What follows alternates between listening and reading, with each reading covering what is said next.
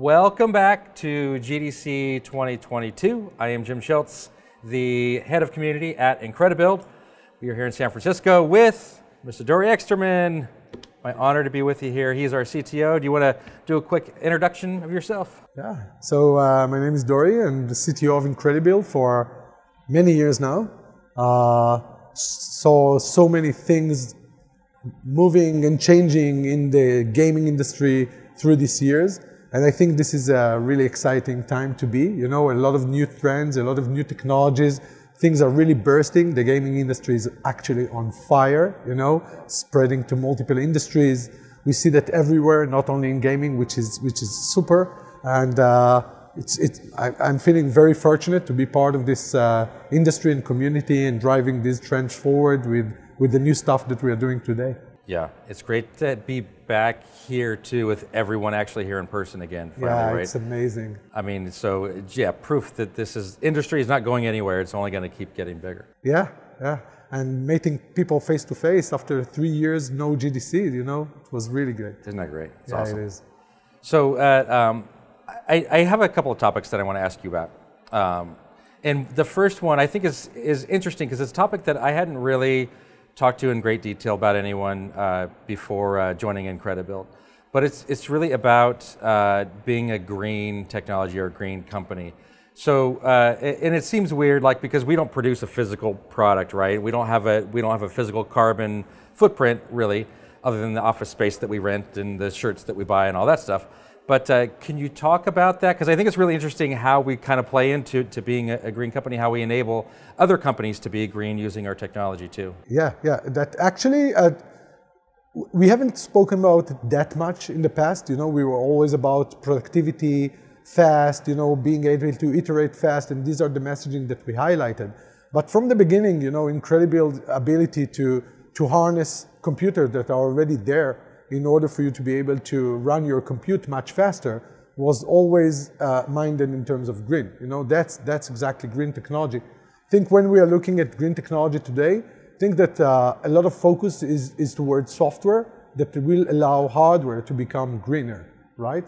So I think it's more, it's all about making, you know, the same hardware more efficient, more lasting, so you don't need to replace everything uh, every year. When you're looking at Incredibuild in that perspective, it really uh, suits very well, you know, to all this green, green uh, uh, uh motion. Uh, even when we started back then, you know, when we had only an on-prem solution before we, we developed our cloud offering as well, the ability to take a single machine and, and use all the compute power of all the other machine, these other machine already connected to the to the electricity, you're already paying for the space, for the hardware, for the electricity that's running them. And actually, the, most of the time, they are not being used, right? They, you have an eight-core machine, you, a salesperson person, or someone is just using one core, and seven cores, you're just you know, wasting electricity on them without making any efficient use out of them. And from the other hand, you have developers, you have artists, you have designers who really need the compute power. So without Incredibuild, they will just need to buy more and more expensive machine every year in order to accommodate that or have very big servers, you know, to run this uh, much faster. But with Incredibuild, we are able to harness all this electricity and compute power that is already there running and, and consuming, you know, carbonizing, etc. And, right. and with Incredibuild, you can just you could just use them. So it, it's twofold. One, one, one, way, one thing is that you're using you know, your, your, your, your, uh, the energy that you're consuming much more efficiently, right? You don't need to add more computers because Incredibuild can harvest the computers you have, which are idle, you know, the compute power that is idle. And that's one perspective.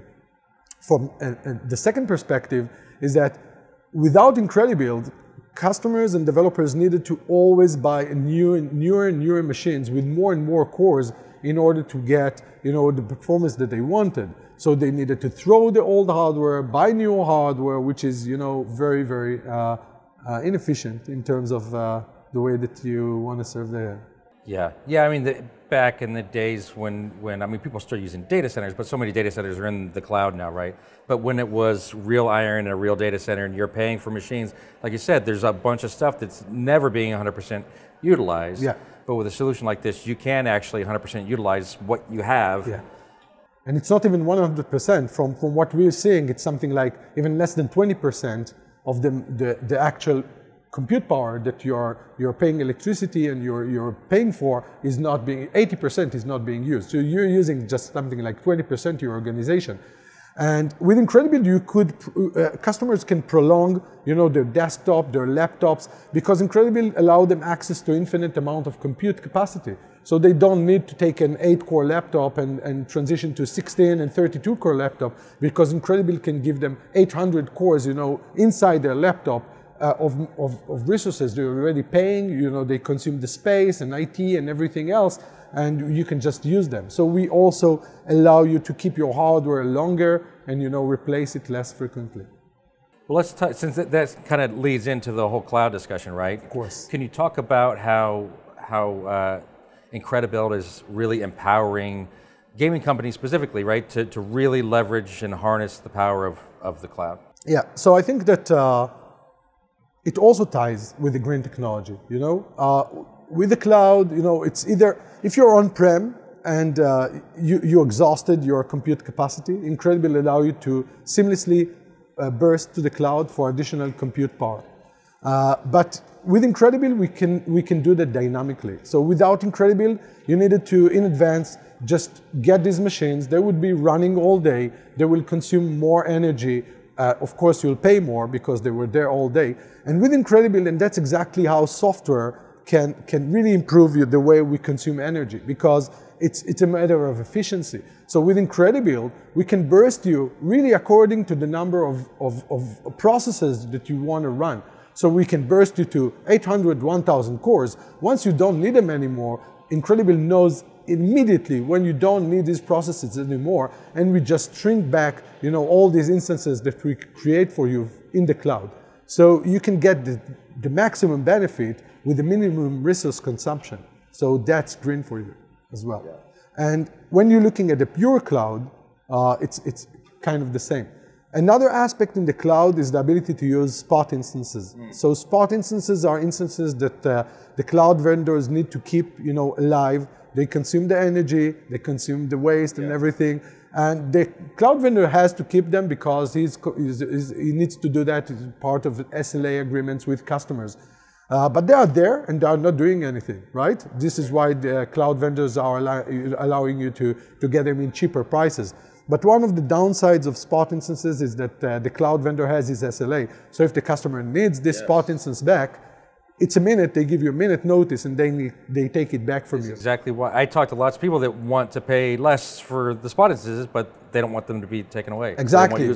Sure, because when you're running a build or a shader compile or graphics or whatever, and it takes you 30 minutes to run them, and you're waiting for this 30 minutes, and after 28 minutes, someone takes your spot instance, and that's it. You need to rerun everything. It doesn't make sense. So essentially, a lot of scenarios in the gaming industry actually cannot make use of these spot instances. Right. But with Incredibuild, we actually enable these, these companies to make use of these spot instances because what we're doing is that instead of taking a very large machine and running everything on this large machine, we allow you to take a very small machine, a four core machine, for example, and then according to the number of tasks that you're actually spawning, and Incredibuild takes hold of your queue of tasks that you're spawning, Incredibuild is distributing these tasks remotely to remote machines. And with Incredibuild, we can actually run them on Spot instance. And the reason is that we have a very unique virtualization technology that once this Spot instance is being taken, there was only a few tasks running there, and Incredibuild took hold of these tasks. So if the Spot instance is being taken, we can simply rerun these specific tasks on a different machine. It's not your entire build, right. it's just this specific task. Your build will continue, it will end, right? So without Incredibuild, these kind of workloads like builds, graphics, etc., wouldn't be able to use these spot instances. And Incredibuild is the, is the kind of glue that enables you to do that. And using spot instances is, is you know, really affects, you know, really uh, improve decarbonization because these spot instances are already there. So instead of consuming more resources, more new resources, having the cloud versions uh, instantiate more machines, you can use the machines that are already there, which make it, again, much more efficient in terms of software, which makes it much more efficient in terms of energy consumption. Uh, I think we'll see that much more in the industry when it when it progresses. We think we're speaking about a lot of the metaverse, which is going to require huge compute uh, uh, demands. And you have the Intel CEO speaking about software being the the part that will be missing in order to take the limited hardware capacity and make it efficient enough in order to support these large use cases that we are going to see in the future. Incredibuild is part of this motion. What have you seen? It, and I think a, a lot of people work in a situation where they're asked just to reduce cloud costs. Yeah. Period. Right. What's the yeah. bottom line? How much does it cost? How do so what have you seen in terms of like by leveraging Spot and by leveraging uh, uh, distribution in the cloud with IncrediBuild? Can you talk about any of that? Are there any specific numbers or percentages? And yeah, I, I know it's become more salesy, but, but yeah. uh, I think it's, it's, it's important. I think, I think it's not it's not sales. Actually, it's it's more it's more than that. I think that it's not that you. So you see you see companies that are already in the cloud and are looking to, to reduce their costs, you're right, and do consumption maybe. But I think that one of the things that we see, especially in the gaming industry, is that the cost of the cloud being a blocker for innovation, right? If it wouldn't be for the costs in the cloud, everyone in the gaming industry would be probably in the cloud today, right? Yeah. So the only blocker, the main blocker for adopting cloud uh, is costs. And uh, with IncrediBuild, uh, the way that we do things, one of our main strategy, and that's what we're focusing, on, is to reduce these costs. It's not only to reduce costs for people who are already in the cloud, it's to reduce cost also to enable customer to be able to adopt these technologies that are actually looking for, and the cost is a blocker for them. So if we'll take, you know, the, the real case scenario, right? For example, if you want to have as a gaming company that, you know, most of the gaming companies and studios here, they want to be the best, you know, we have some, with Incredibuild, we are, we have 95% of the AAA studios. They are in constant race to be the best, release much faster than anyone else. They are in constant competition. It's a race, right? Uh, the metaverse also, it's a race for the one who's going to dominate the metaverse. So people are willing to spend a lot of money, but still for a lot of studios, this is a blocker for the cloud adoption. So if you want to be the fastest you can go in the cloud, you'll take the best machine out there. For example, uh, so you'll take a 64 core machine, but with 64 core machine, uh, you sometimes need 300 cores because you're running a large workload. But in the same workload, for example, in build, you'll need sometimes 300 core, but then later you'll just have one task of linking and you'll pay for 63 cores that you're actually not using during this period. So it's very costly, it's not efficient, it's, it's, it's consuming energy unnecessarily. And with IncrediBuild, the way that we offer you to do that is instead of taking this 64 core machine, you can take a smaller four core machine. And once you need 300 cores, IncrediBuild will automatically scale you up with the cores that you want. And once you have just one link, we'll shrink you back to have four cores. So you won't pay for 63 additional cores that you're, not using, you'll just pay for three. Just by doing that, IncrediBuild was able to save 30% on, on customers' cloud cost reduction. And that's, that's an amazing number, right? Uh, when we're adding the Spot instances, uh, IncrediBuild, as I said, is, the, is a way to enable the usage of cloud Spot instances. So instead of distributing these processes to reserved instances, Incredibuild can distribute these processes to Spot instances. When we're using spot instances to the equation, our customer report for additional 30% cost reduction to their cloud infrastructure. Yeah, this results in 45% cost reduction to cloud infrastructure. When you take cost reduction, cost reduction equals efficiency in energy consumption if we go back to green. So every cent that you are able to reduce in cost means that you're able to use less compute or use compute more efficiently. So for every dollar that you reduce in cost, that's a dollar you reduce in spending energy, right? Consumption.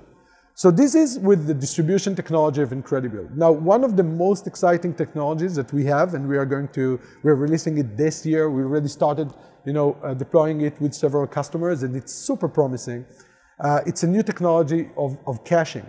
Oh, yeah. Uh, cache and reuse. So caching is the ability to uh, to reuse something that someone else already built instead of rebuilding it. And in the gaming industry, you have a lot of scenarios where caching can be applied. So for example, if I'm building something and 10 minutes after uh, a colleague of mine is, is building something similar, instead of him needing to rebuild everything again, if we can use some of the artifacts that are already built or intermediate artifacts that are already built, it will be much faster, much cost efficient, much less resource consumption in, to copy just the artifacts that I already built instead of recomputing and right. building them again. So the same manner in which we are doing the distribution uh, uh, technology of Incredibuild, which is generic, so customers can use our distribution technology for a variety of stuff. They're using it our, our, our, focus was always in, in build, you know, and graphics, etc. But our, we have tons of case studies of customers using it for unit testing, packaging, uh, image light map baking, uh, data conversion. You know, there are so many use cases in the gaming industry. And we wanted to keep the same approach for caching as well. So, uh, and our caching technology is very unique in the way that we developed it. It's actually patent pending because of its uniqueness in terms of technology. And Usually when you have a caching technology, it, it's, I, I, I, it's usually on targeting a very specific problem. So you'll have a caching technology for this specific compiler, for this specific use case, because it's really ties up to the, to the workload itself. Right. With, with our new technology, our caching is generic in the same sense that our distribution is generic. So we'll be able to allow you to cache almost everything that you have as part of your workload. We're, we're starting with Visual Studio, C++, Unreal Engine, uh, but we're going to grow that to all the portfolio that Incredibuild supports today. It's going to also allow us to uh, target uh, shorter workloads, you know, because caching is faster than even distributing, right? You don't need to do something, it's always faster than doing it faster, right? right. Uh, and when, when we take it to the, to the discussion that we have about cost reduction, so if we see 45% cost reduction, you know, just better and more efficiently running your compute, with caching, you're actually avoiding of running compute. And then you're completely avoiding the compute cost as well. So caching is both going to highly add an additional layer of cost reduction to, the, to what Incredibuild offer. It really depends on how much you'll cache. If you'll have 100 cache hit, you'll cache everything 100% so no compute power is required at all, right? So your cost reduction will be maximized. Uh, so it will always be some kind of percentage, but it will surely give you another layer of cost reduction and another layer of performance. So caching is all about not avoiding doing stuff, even if you can do them faster. Yeah, and, and I think that once we get to numbers which are around 75 80% cost reduction, that will make the cloud being uh, less of a blocker. And that's what we want to allow our customers. They really want to go to the cloud, but the cost is a barrier. And actually, you know, when we are working with, uh, with, uh, with our cloud vendor partners, we are working with all the major cloud vendors. Uh, in, in GDC, we had some exciting announcements. I yep, don't know. Yep, I was there. I yeah, got this. Yep. Of course in GDC, uh, both uh, Amazon and Microsoft announced uh, Studio in the cloud, right? Yep. And and they really want to allow these customers uh, to to move to the cloud because that's and everyone wants that. That's the trend. Everyone's going to be there. It's just a matter of time. You know, it's much more efficient. People are looking to grow fast. They're looking to have an environment ready for them. You know, in a click of a button. They don't want to spend a lot of time on IT. Uh, they want to be able to support hypergrowth. They want to be able to support scalability. You have all these cloud services. So people want that. The cloud vendors are really uh, uh, doing a lot of efforts to encourage the community to do that. And, and one of the things that they've done, and this is part of the announcements, is the announcement of gaming in the cloud. So they kind of take the, the market leader partners, you know, for the gaming industry uh, uh and kind of assemble them together in order to offer an experience which is the easy button experience, you know, just yeah, yeah. get me an environment, I can start working, right? It's good for indie developers, it's good for new studios, it's good for the studios that are hyper growing and always hiring more and more people. Yeah. And, and Incredibuild is in, both, you know, both Studio in the clouds. We are partnered both with uh, Microsoft Studio in the cloud, Amazon Studio in the cloud, and, and Incredibuild is, is reducing costs, you know? So reducing cost, and actually the cloud vendors are pushing you know, a technology that reduces costs in the cloud. It's kind of counterintuitive in a way, right? Yeah, we were. Ta- I was talking about that with Reggie, same exact discussion. Which, but it's. I think it's great because it shows that they're as interested about their customer satisfaction as we are, and so everyone just wants to give them the best experience. Exactly. Possible. So there are two things. One, that's the major thing. They want the customer satisfaction. They want to enable them to move to the cloud and get the best experience out of the products. I think that was always the agenda of these vendors. They have a very, they look very far to the future. They want to get the, to have the best environment, the best services, and the best customers on their services. So they wanted, if they could, they would have reduced their cloud cloud uh, bills as well, but they can't. You know, they have their their limits as well. Right. So one of the things that they can do is they can partner with with software companies like Incredibuild, who can reduce their their customer cost uh, and and allow them to kind of adopt this this cloud. And actually, they are not losing. You know, because if we'll take uh, scenarios with Incredibuild, for example, we have a, a, a customer accelerating the unit test from 11 hours to 11 minutes, which is super dramatic. It's doing, he's doing that in the cloud. Yeah. So you can say that Incredibuild cut down, you know, 50% of his cloud cost, you know, and the cloud vendor loses because Incredibuild dared. But that's not the case. Because once a customer can reduce his uh, test iterations from 11 hours to 11 minutes, before Incredibuild, he was able to iterate his test only once or twice a day. Now, once he reduced it to 11 minutes, he's able to run his test iterations 20 times a day. And if he's running these 20 times a day iterations, then the cloud vendor get much more consumption. So essentially, the customer pay less per workload that is running, but now he can run more workloads. So essentially, uh, he's using the cloud more. So it's not a lose, it's a win-win for everyone. Yeah, even if he's using it the same amount, paying the same amount, he's getting more iterations, he's getting better quality for the same amount of money. Exactly. And it's and today it's all about getting to the market faster. In the gaming, it's not about getting to the market faster because you have a strict release date, but uh, it's getting to the market with the quality that you want and getting to the market on time. And that's what concerns them. And if they have more iterations, they can have better quality, they can have better games, and that's only for the development part. If you're looking at graphic part, for example, shader compilations, artists, you know, if they want, if they need to wait one hour in order to try something, for example, I'm having a zombie game and the scene looks too cheerful and I want to change something, and now it will take me one hour to wait just to see if it gives the effect that I that I want. I say, ah, it's good enough, right? right? But if it takes me just two minutes, I can try more. And try more yeah. means better game graphics, and game graphics is what sells games today. So it's not only about quality, it's about not only about quality of the game features, it's also about the quality of the graphics, the faster iterations, and the ability to release on time in high quality. And we've seen some games, you know, some fiascos last year and this year, you know, with quality. So I think that quality and the ability to iterate fast is going to dominate the trends in the market. Yeah, you can't QA in production. You've got to have a quality product at release, right? Exactly. And today it's all about continuous. It's all about giving continuous value, continuous iteration, continuous value to the customer. Uh, if you have an every game ships with bugs, so you want to you want to have fast iterations in order to fix them faster. Every game has a sequel. You want to get this sequel to the market. You, you can, if you can shorten your your your roadmap you know, because you can iterate faster, you know, you can ship more games, you can get more revenues. It's all about that. Yeah, what's interesting too, right, uh, we keep talking about how cost is the biggest concern uh, in, in moving to the cloud. It used to be the discussion was all around security. And you and I had a discussion with somebody a few months ago where we talked about that, and, and they said, yeah, actually, the cloud providers have better security than I do. Yeah. So, no, security is great. It's just the cost. Yeah, it just boils down to the dollars. Just the cost. In the past, yeah, there were concerns about security, but I think that today everyone understands that the amount of investment these cloud vendors put on the cloud makes it much more secure than you can do on-prem.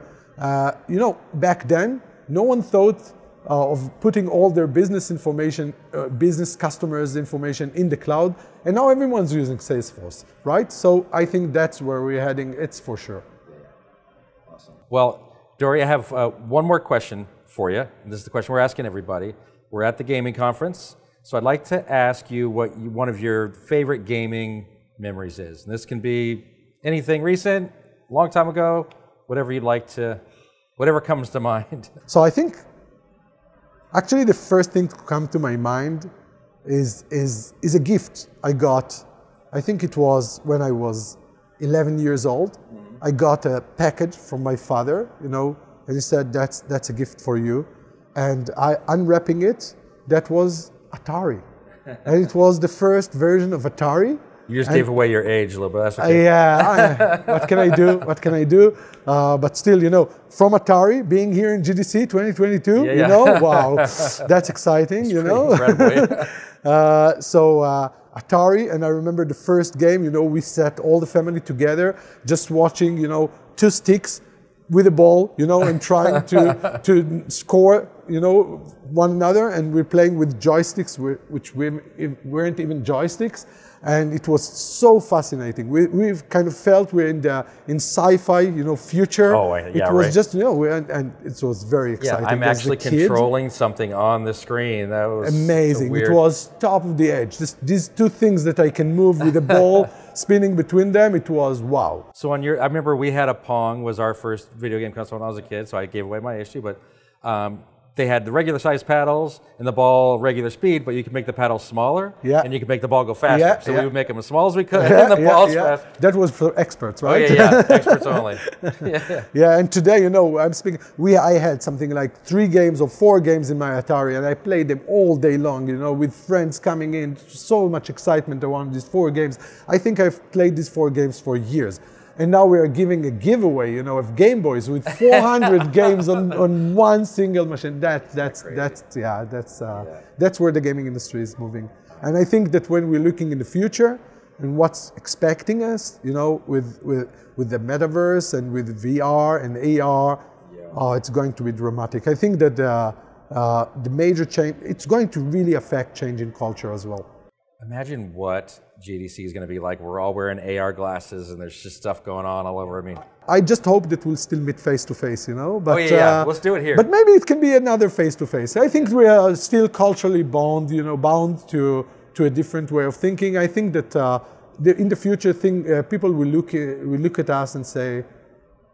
It's a, it's a different, it's, a, it's kind of a different civilization. I think that the gaming industry is really going to change the entire culture of the, of the world. I think we started seeing it with mobile, but it's going to be so that much more dramatic once metaverse will start kicking in. yeah, it'll be exciting. We'll be here. We will, we will. GDC 2032, something like that. Thank you, Dori. Thank, Thank you, for coming by. Yeah. All right. My pleasure. Thank you.